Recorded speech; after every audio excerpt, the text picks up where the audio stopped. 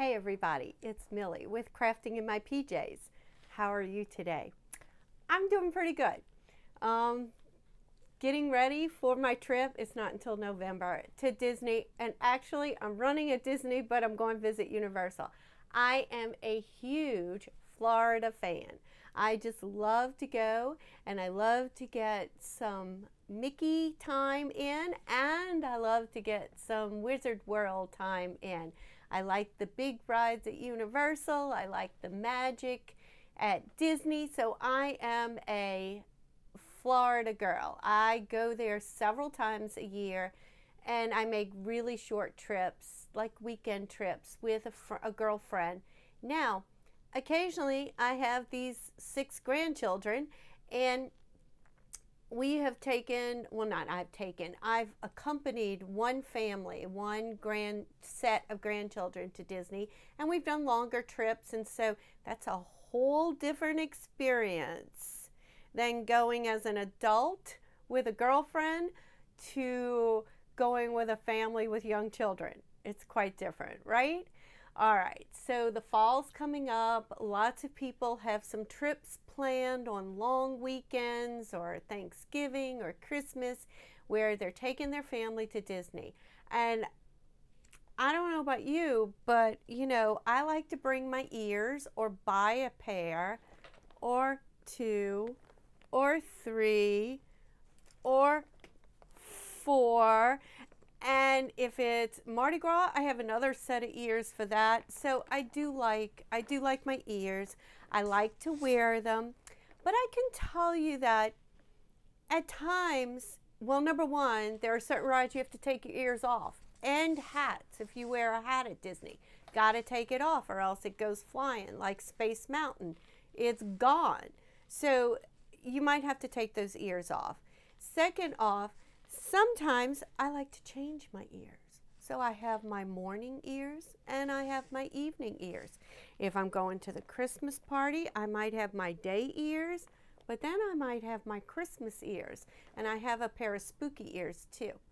So anyway, I do like my ears. And if you have a family, you might have multiple ears. They have a tendency to give me a headache and so I do have to take them off and rest from them periodically. So, what do you do with them? What do you do with all these ears? Well, my friend turned me on to um, this idea. She bought one at Etsy. I don't think I can get it. And it is a ear holder, an ear holder that several people on Etsy make but I made this one myself. So you can make your own ear holder. Now, guys, they aren't that expensive. They clip right onto a backpack, just like that. This one I made to hold two pairs of ears, but if you're making your own, you can make them however you want. So today we're going to go over some different ways to make an ear or a hat holder. Would be great when you're going to the park, would be great when you're going out. Like my um, daughter took her two to the beach yesterday. This would have been great on her backpack to hold the hats after the kids didn't want to wear the hats anymore. So it can hold hats or it can hold ears. We're going to talk ears, but remember, this is a craft that can go for hats as well. All right, so before we get down to the table so I can show you all the different options you have from those of you that might be a sewer to those of you who are definitely not a sewer, all kinds of different things you can do in between from one to the other, whatever you're comfortable with and whatever fits your family needs. So let's get down to the table, but before we do, welcome to my channel. So glad you're here. If you're new, welcome. If you're returning, I'm so glad to have you back. Um, please consider giving the video a like. Please consider giving a thumbs up. And I would love to hear from you in the comments. So tell me, what do you do with your ears or your hats when you go to the beach or the theme park or anything like that? All right, so let's get down to the table. Okay, so we are down to the table. I have my coffee. I'm ready to go. I'd have the glue gun heating up, but this video is not really, uh, this project is not really a glue gun project. So um, we are going to be using some fabric glue and I am using Fabrifix, which of course I don't have a bottle. I have turned it, I have poured it into um, these little Sugarbelle bottles. I saw it on a video, Pam at the Paper Outpost, and she puts them in these Sugarbelle containers. She gets um, less of a, like a finer stream, and when you're doing paper products, paper crafts, that's can be important. And um, they're easier to squeeze on your hands, so that's a definitely a plus. But Fabrifix is intended for gluing fabric. And we are going to be working with fabric today. And it, it bonds pretty quickly. So um, let's just look at this prototype that I literally whipped up 30 minutes ago.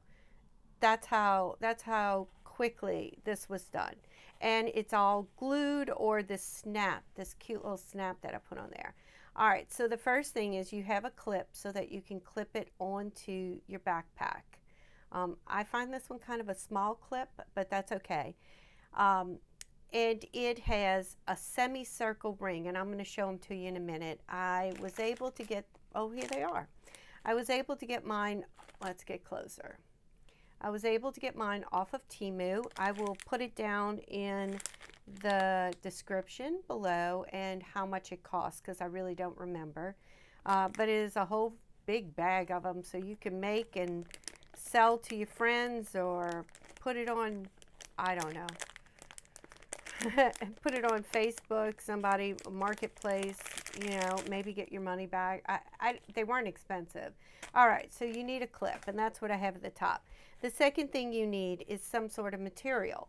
Well, this was left out. It was in like one of those grab bags.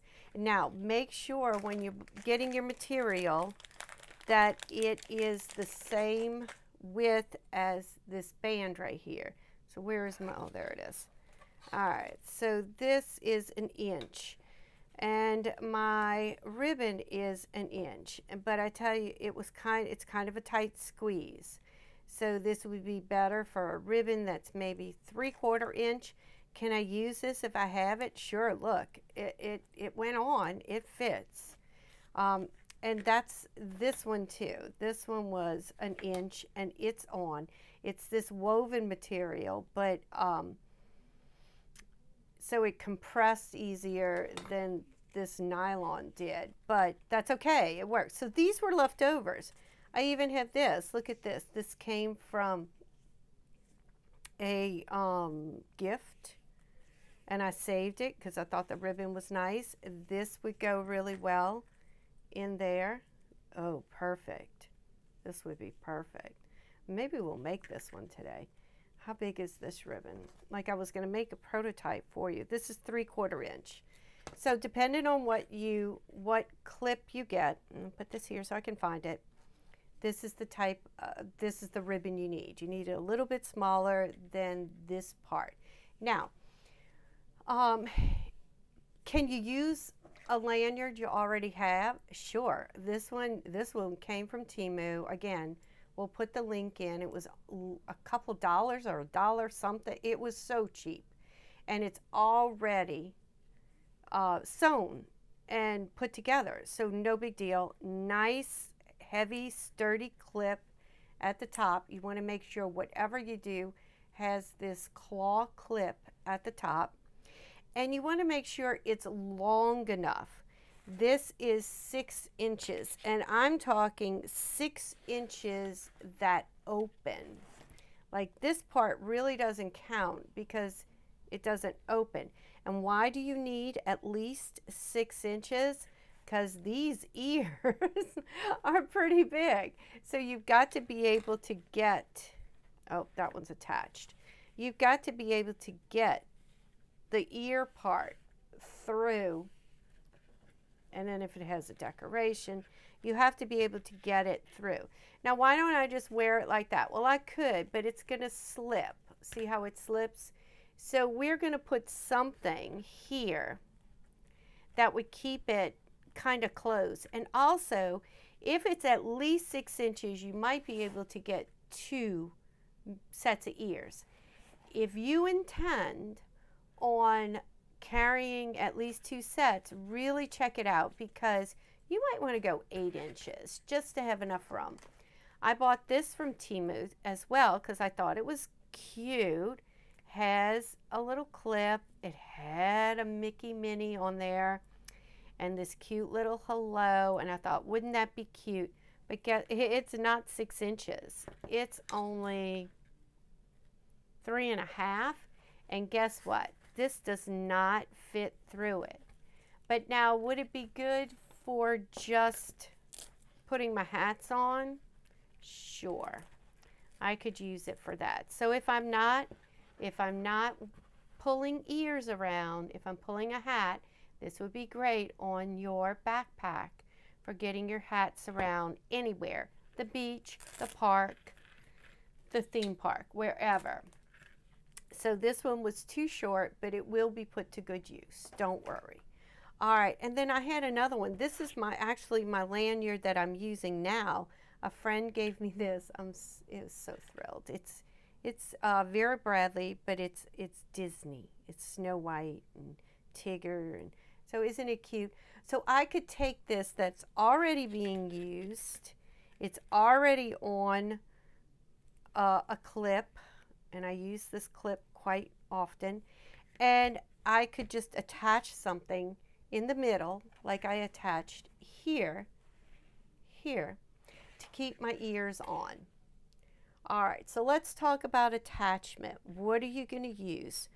All right, so the easiest thing, literally, the easiest thing is, and you know, something that would, where'd they go? Well, my Velcro's hiding, so I just went and got some more.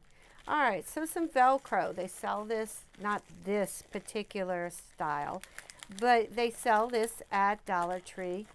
Um, this is, there's, if you go to Joann's or I guess Michael's too, they do have a, um, a sew variety. So if you would like to sew it on, you can. Um, so there's no adhesive to the back, but we're going to do, um, we're going to do the sticky, but we're going to make it a little bit more, I don't know, uh, secure. So we're not going to trust that this is going to uh, stay on as I'm pulling it apart and everything at the park. So we're going to take some of our Fabrifix glue and we're going to add it to the Velcro.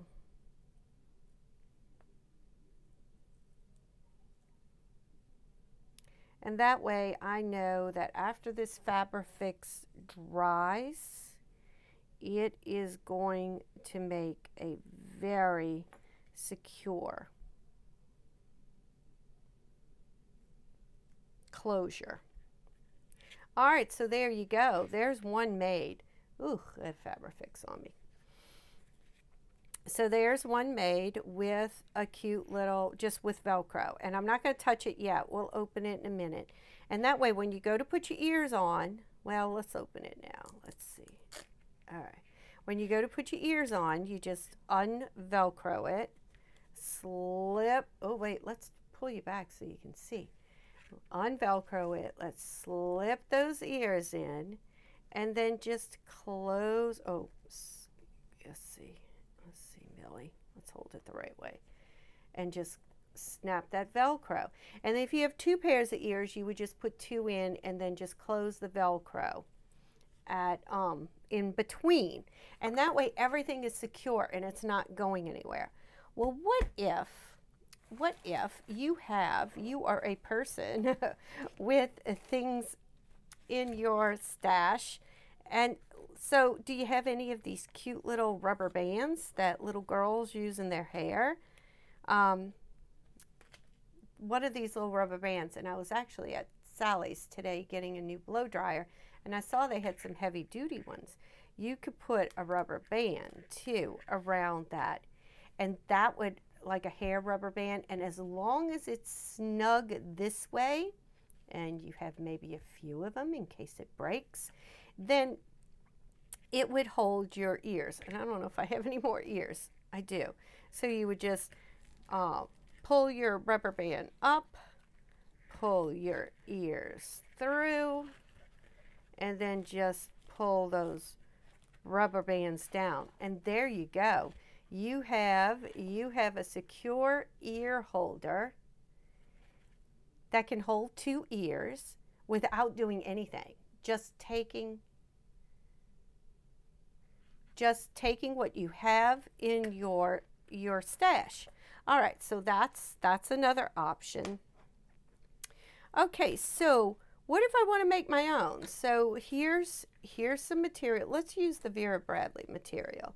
Let's use the Vera Bradley. And this is what I did with the black one that I, I did as our first demo. Take a hook, take some material, some, uh, let's make this one longer. This isn't, these are not my uh, material scissors. So we made Vera, I mean, we made the black one.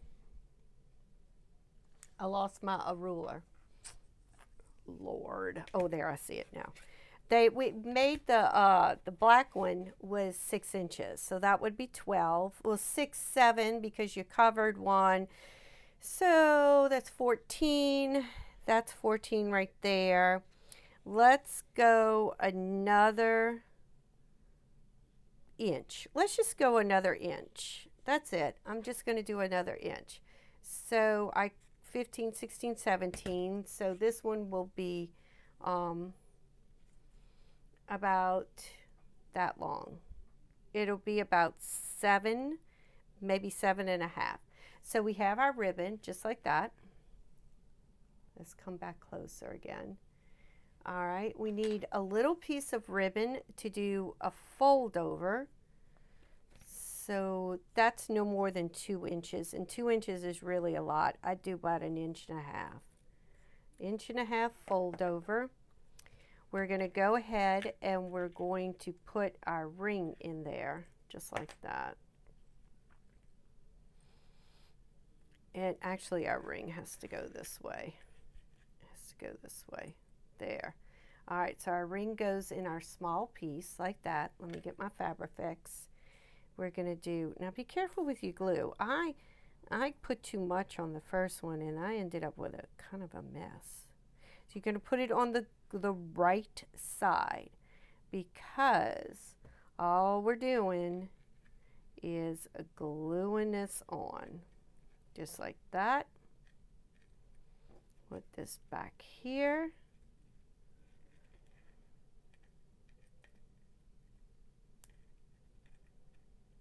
Why won't you move? There we go. This on top of the other one and then glue this piece down. Now, like I said, if you sew, you can definitely take this to the sewing machine and sew it. Oh, and we want to kind of put some glue here. That will hold this like that. There we go. Wait, wait, wait. We are we are not even, and I don't like not even. There we go. All right, and I put these cute little clips on, and that just kind of holds it in place while it dries. So that is a nice long one. It's a good seven inches. Now, we could put our Velcro here, but on my other one, and this, y'all, I just had because I wanted to make um, uh, neckerchiefs, handkerchiefs that go around the neck of a dog, and uh, and they at the groomer they put them around our doodle and they tie them. And I wanted one that snapped, so I bought this at Hobby Lobby, and it's plastic snap pliers. And I actually have not made the dog uh, the dog uh, bandanas. There you go. I finally figured out the word. But I can use them on this right now. Now, if I can find all the pieces that I have successfully lost in here. All right, so I'm going to go about halfway, about halfway, which is about here, and poke a hole through. There we go. And let's see if I can remember how this is done. All right, so we're going to put the snap, part you want to show right there, the part that goes on the inside right there. Have our cute little machine here. And we squeeze. All right, there we go. And that has put my snap right there. And now I'm going to take, let me make sure I get this right. I am going to take my bottom one, which is this one. Oh, I dropped it. Which is this one. Another cap.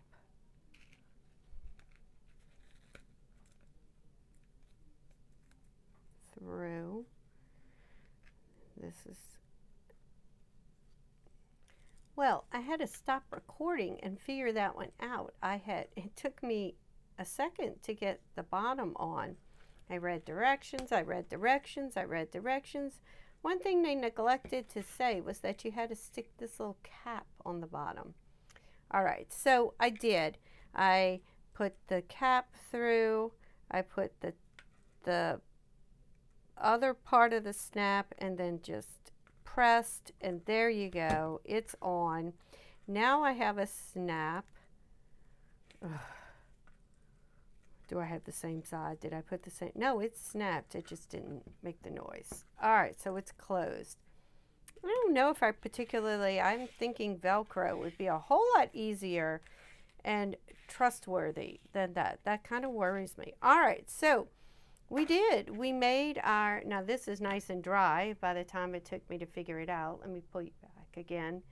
All right, there we go. We made our clip. There's our clip. We have a snap. Now, really and truly, if you want to get really, really fancy, those are my directions.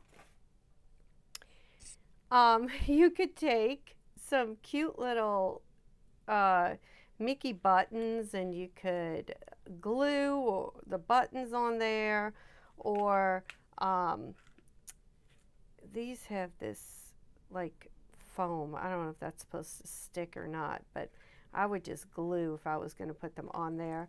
Or you could just leave it like that. The snaps themselves look great. Where is the one with the Velcro? Oh, this one has, this one just has the rubber band. Um, which one have we put? Oh, we put the Velcro on this one. Yeah. So you could take your your Mickey and you could put right there and then you kind of know then where your Velcro is or you could just leave it off. I mean, it's no big deal. Let's see. This one, this one, I'm, I'm, I'm like pro Velcro on this craft. I'm thinking the Velcro works just as easy. In fact, a lot easier than these snaps that I don't really, I'm not so totally trustworthy about.